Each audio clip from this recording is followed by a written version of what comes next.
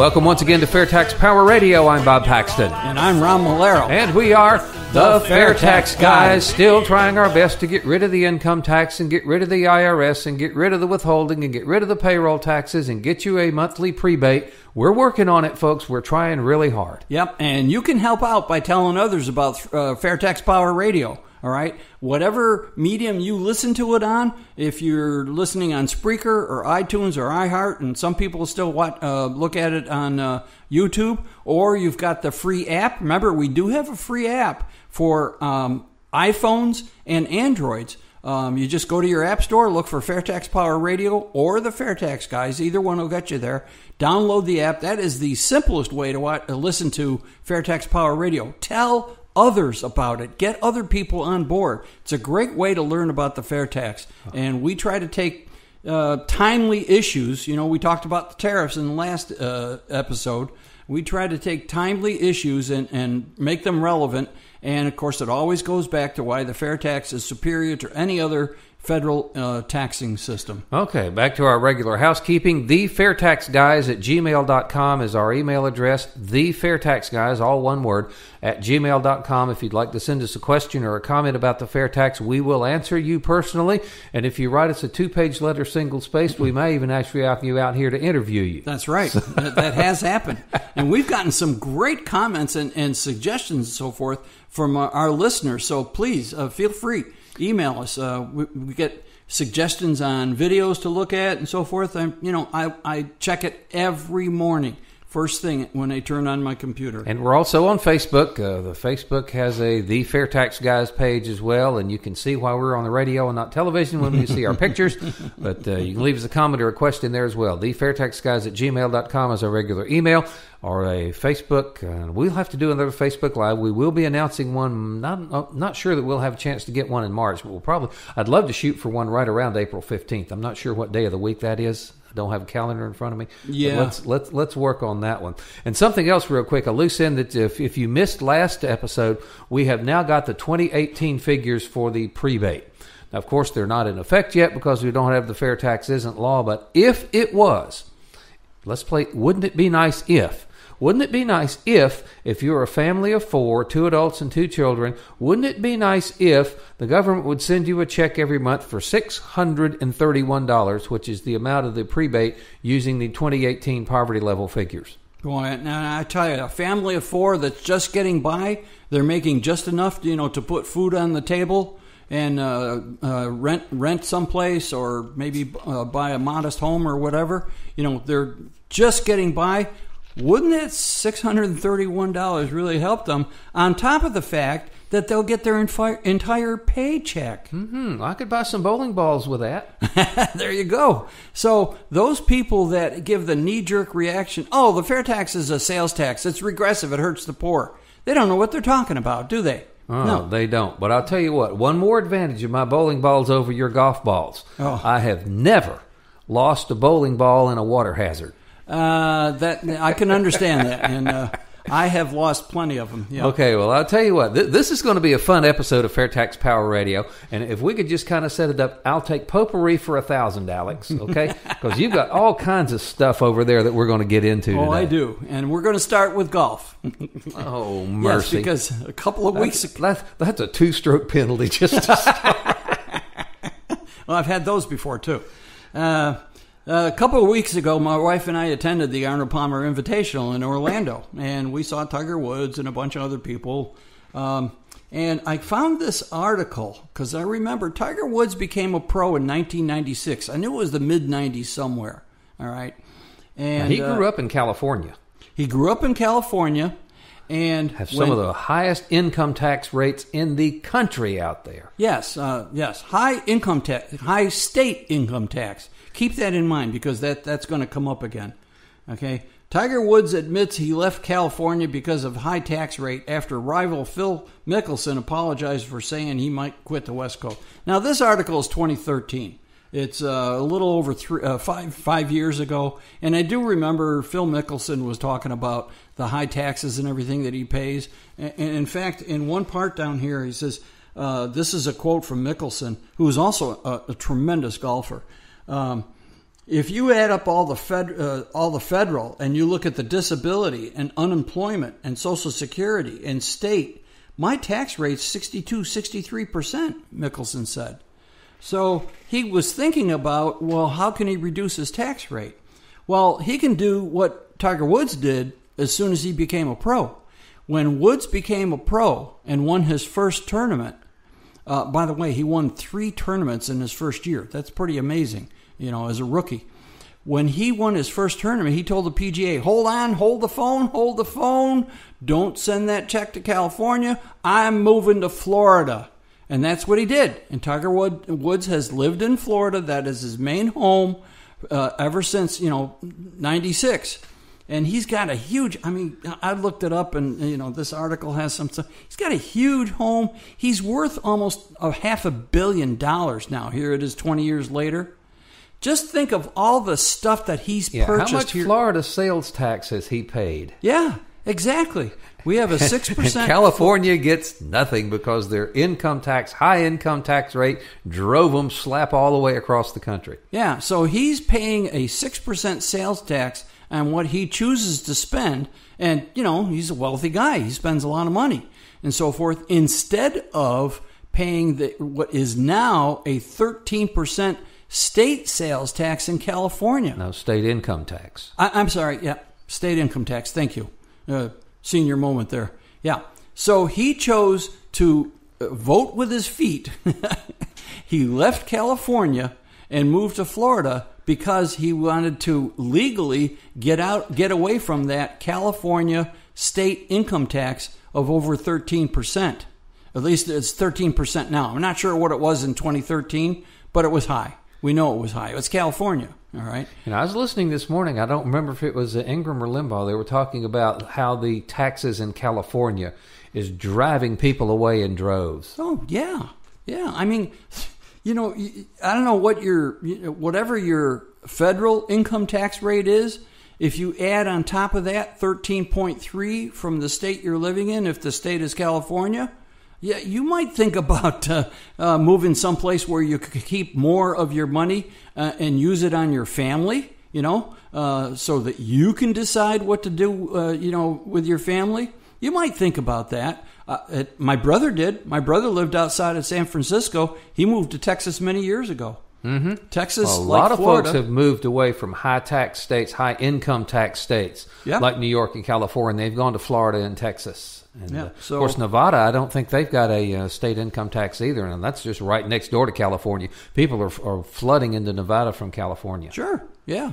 So you keep taxing your people and you keep losing your people. It's it's that simple. Of course, that, that's a state tax, but the federal income tax nails everybody. Yeah, it does. And I tell you what, everybody that works for a living, Uncle Sam takes a big chunk of your money right off the top before you even see it. They call it withholding. That needs to go away. Excuse me, there's a frog in my throat. But the only way that goes away is if the income tax goes away. Take, making it making it a flat tax does not make withholding go away. You know, flattening, the, reducing the number of tax brackets does not make withholding go away, and it doesn't make evasion go away. So the flat tax is not the answer. The fair tax is because it is the only tax reform proposal that gets rid of the income tax. And We've got to get people thinking out of the box because you know, folks working for a living today. There's not a single person working for a living today that has not lived under the income tax because that came into effect in 1913. That's right. It was 105 years ago. and even though they enacted it in October, they made it retroactive to January. Those nice people in 19. Oh, you know. if I were a medical person, I would have a word for the income tax. I would call it cancerous. Uh, yeah. As a matter of fact, uh, one of our, our volunteers here in Florida, Paul, Paul Livingston, he, he's also on the, the board of directors for the Florida Fair Tax Educational Association, just like Bob and I are. Okay. And he, he sent us an email. He was trying to make a point, and, and I said, Oh, this is good stuff, Paul. I'm going to use this on a future episode of Fair Tax Power Radio. The non medical definition of cancer is a pernicious, deadly, spreading evil. Today, we suffer from tax cancer. All right? Our literature does point out the many problems and bad practices of the current income tax and the IRS. Cancer, the medical cancer, I mean, that just saps strength from your body. yeah. And yeah, the income tax saps strength from the economy. exactly. It sends businesses overseas. It kills jobs. And, Oh, and it's it's not just and it's not just because of the tax, the expense of the tax. It's because the tax code is so convoluted and so complicated that it costs a lot of money keeping up with it. Compliance costs. Mm-hmm. And those compliance costs are paid by the companies and it's rolled into the cost of their products and services. It is. And who pays for that? The consumer. Yeah, exactly. We do. Again, the, the, the company or the business may write a check to the IRS, but that becomes a cost of doing business, just like buying materials or paying your labor.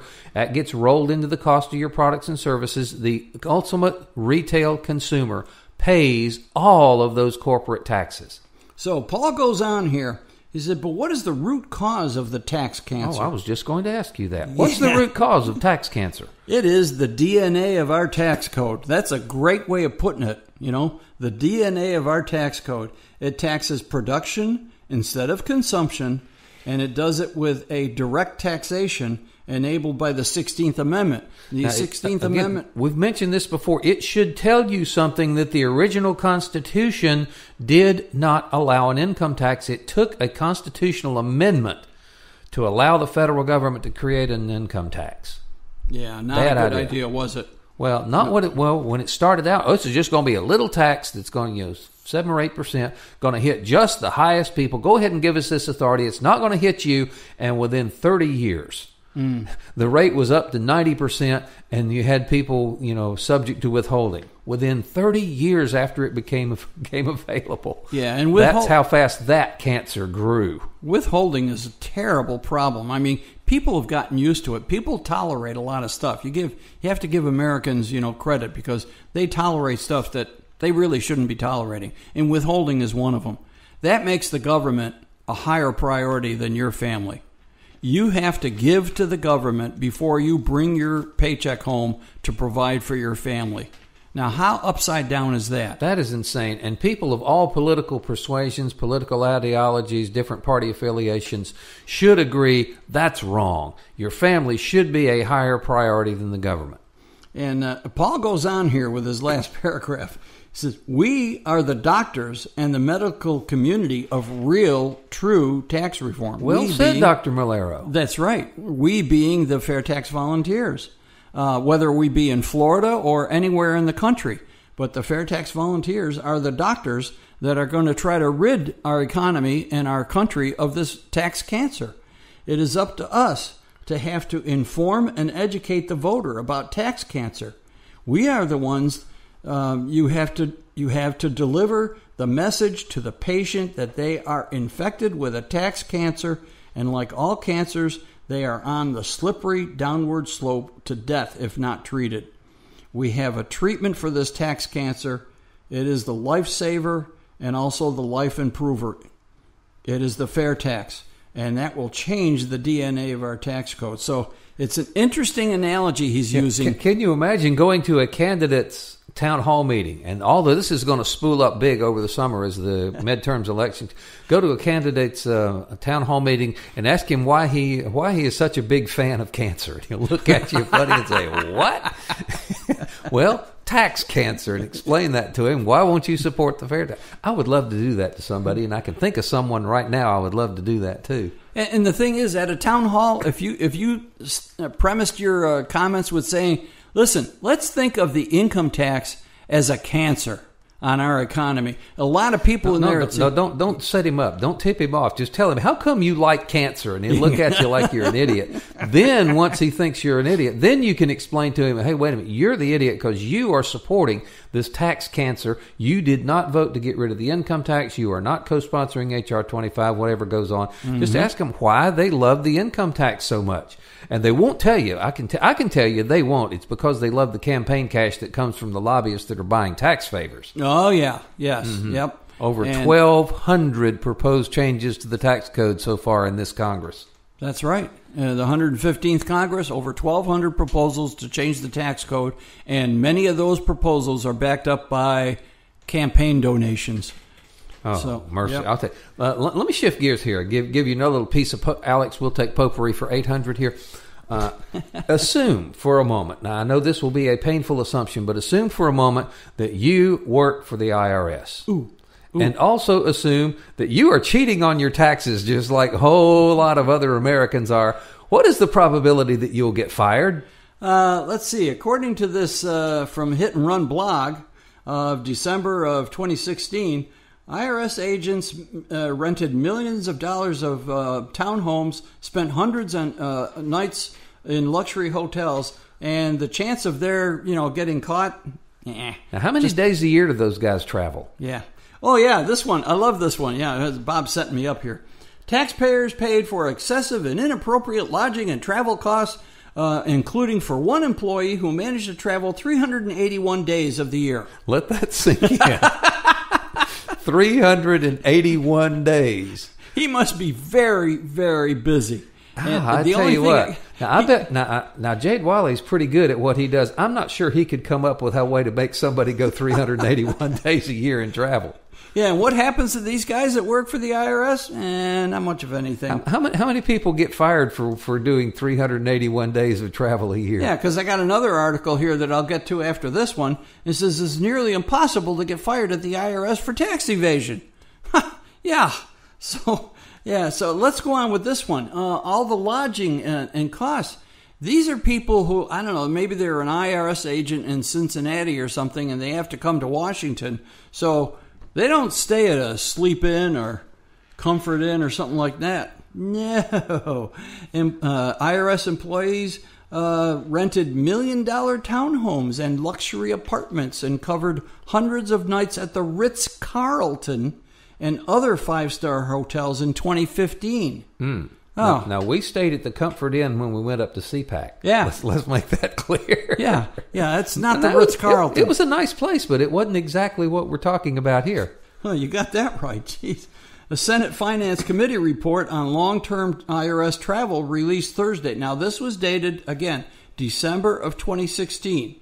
So it's, you know, a little, little over a year old.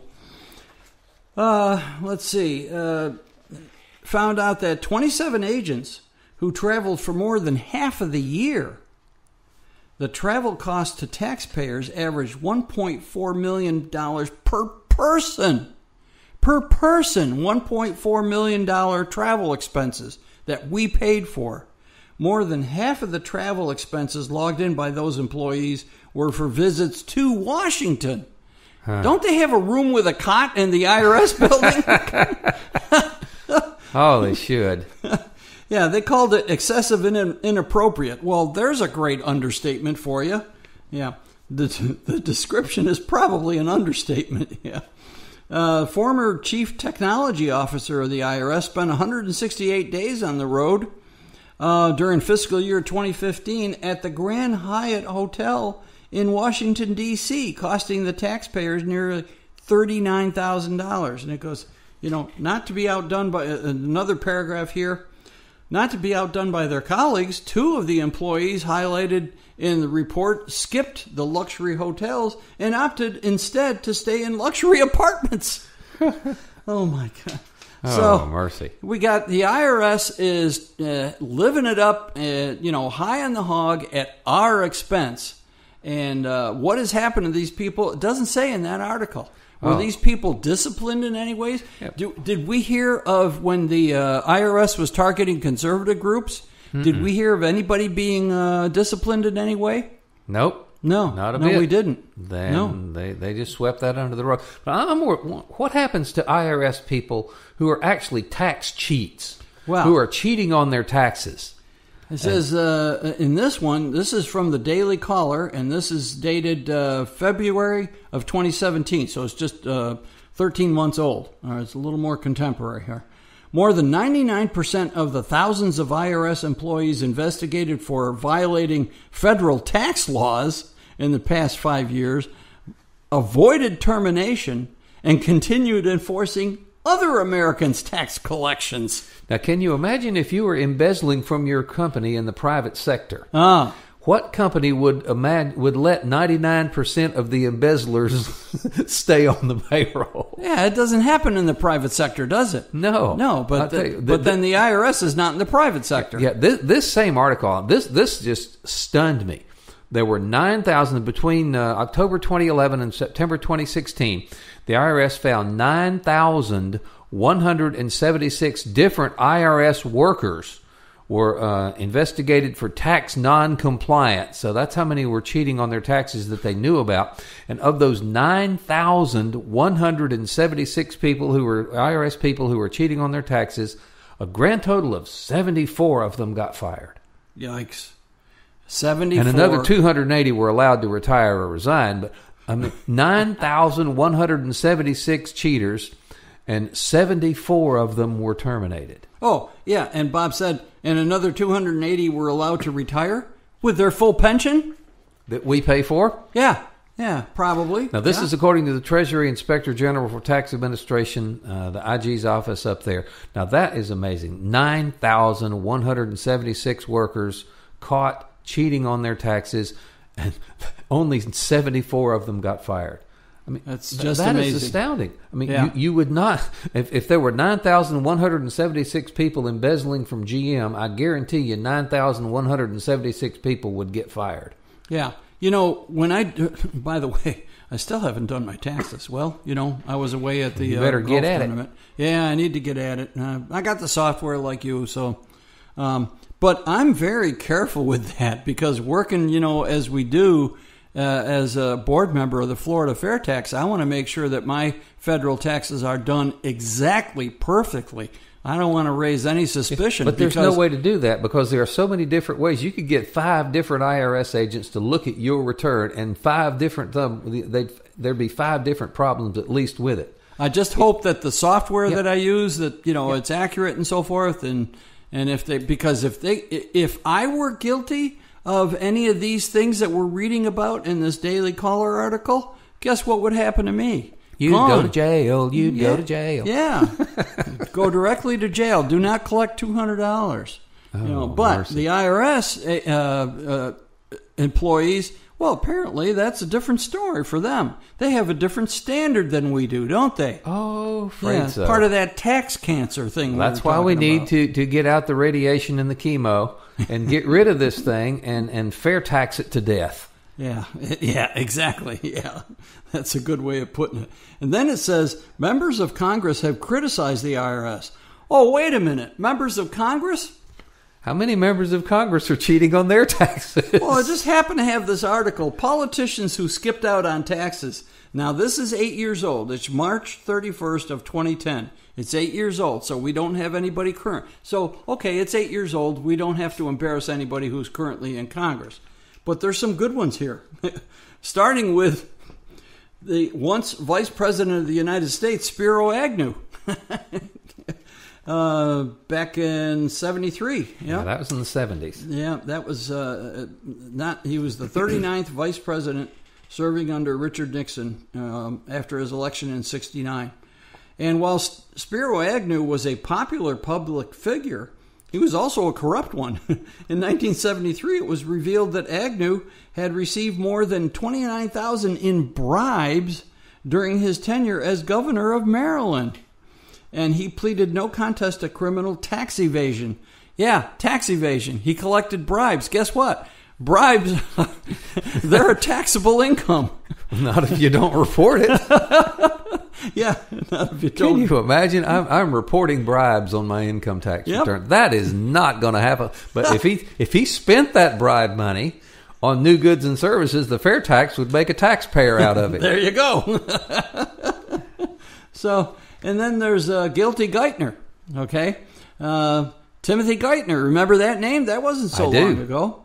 Uh, the question that Americans had to ask themselves when uh, it was revealed that Tim Geithner, President Obama's Treasury Secretary, failed to pay $35,000 in self-employment taxes, taxes from his tenure as director at a department of the IMF. I believe that stands for In- International, International Monetary, Monetary Fund. Fund, Yep. yes. All right. While Gart, and this was funny. I remember this at the time. Oh, people had a good time with this. While Geithner claimed that not paying his taxes was an oversight, some questioned the idea that the Treasury Secretary wasn't able to keep track of his own household finances. That speaks to the complexity of the tax code as well as to the ineptitude of that particular public servant. and I think he mentioned a, a TurboTax that you and I use. Uh huh. Uh, and then we have Mr. Rangel, uh, Congressman Rangel. Now, Congressman Rangel, I read up on him. He was a decorated war hero in in uh, in the Korean War. Mm-hmm. You know, uh, but he after serving in Congress for so long, I guess there's something about being in Congress that just kind of mushes your brain or something, and you forget about reporting taxable income and st- stuff like that. yes. Oh yeah, yeah. Co- Congressman Rangel got his uh, got his butt in a sling because uh, in 2008 he was also nailed for failing to report rental income on his villa in the Dominican Republic. Revelations that Rangel came up short on his tax bill to the tune of $75,000 were part of a string of ethics concerns and he, he fin- of course he was in his 80s when he finally got out of Congress. I mean, you know, go relax, Charlie. So, and then finally, uh, Tom Daschle, former Senate Minority Leader, Tom Daschle took heat uh, beginning of 2009 for failing to report uh, income and taking too many tax deductions, bringing the IOUs to the IRS more than $140,000. So uh, he stepped away from being uh, Secretary of Health and Human Services because he thought it was a distraction. Yeah. No, because you, because you, were a You, you and I would go to jail for that. Oh my gosh! I mean, yeah. So uh, Congress um, criticizing the IRS. Yeah, come on, give me a break. you Pot know? kettle black. Is that, that's IRS. Yes, uh, but you can work for the IRS, cheat on your taxes, and you've got a 99% probability that you won't be fired. Yeah, That Yeah. we'll have to keep paying your salary. It's just ins- and the problem is the tax cancer. The problem is the tax code that allows all this. That's right. The problem is the complexity. Seventy-five thousand pages of tax code and regulations and court cases and stuff that we have to put up with. The fact that the system allows all that. I mean, you really can't blame somebody for wanting to try to take advantage of the system. I mean, that's just human nature to try to part with as little of your money as you can. Yeah. But uh, when you've got a system that allows that to go happen, you have got to change that system. And if you want to change it to something that works really well, that people can't evade, that the government is not taking a big chunk of your money before you see it, the fair tax is it, a consumption tax. You tax consumption, not income. You let people bring home the full gross amount of their paycheck. You give them a prebate every month, a refund back on taxes that you don't owe because you do not owe a dime under the fair tax until your spending exceeds the poverty level for your household size. Take care of the family before you take care of the government. Pass the fair tax. Hey, that ought to be a slogan. Yeah. There you go. You know, you'd think members of Congress would on, want to pass the fair tax so they'd stop getting themselves in trouble for evading the fair tax. Oh well, I tell you what, I think they would rather have the uh, lobbyists' money. Unfortunately, so we the people have got to fix that. Yeah, that's right. And you can help us, folks. Let people know about Fair Tax Power Radio and tell t- get everybody you know to come on board with the Fair Tax. Listen to our podcast, go on to fairtax.org, become a member, give them a small donation and so forth. Let's get this done. It's going to take a groundswell of citizen Yeah, people keep asking, how come we don't see a lot of fair tax ads on television or the radio? We just simply don't have the money to buy them. That's right. They, they cost a lot of money to run ads. I mean, we would love to do that. And if we could really advertise about the fair tax on national TV, we would get it done. But uh, we're going to need a lot more support than what we're getting now. So do that. help So us out, folks. We encourage you to do that. Join the 1040 Club if you can. That's just $10.40 a month to Yep. Americans for Fair Taxation. And that is going to wrap up this edition of Fair Tax Power Radio. Uh, we've had fun in the potpourri category over here. this was a good one. It was. Again, I'm Bob Paxton. and I'm Ron Molero. Reminding you the fair tax is America's big solution, and once you understand it, You'll demand it. Fair tax is coming. Don't say